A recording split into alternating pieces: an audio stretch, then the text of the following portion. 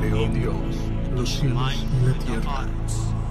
Y la tierra estaba desordenada y vacía, y las tinieblas estaban sobre la faz del abismo, y el Espíritu de Dios se movía sobre la faz de las aguas.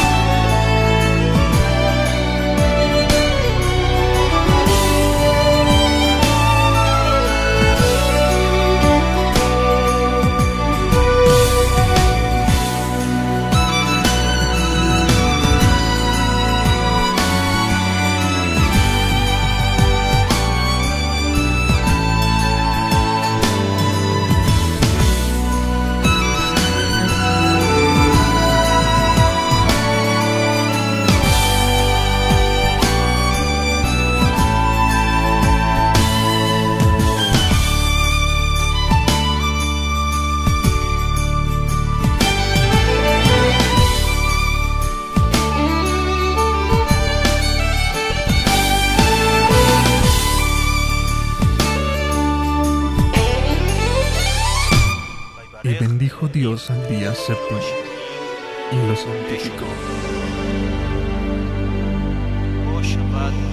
Porque él reposó de toda la obra que había hecho en la creación.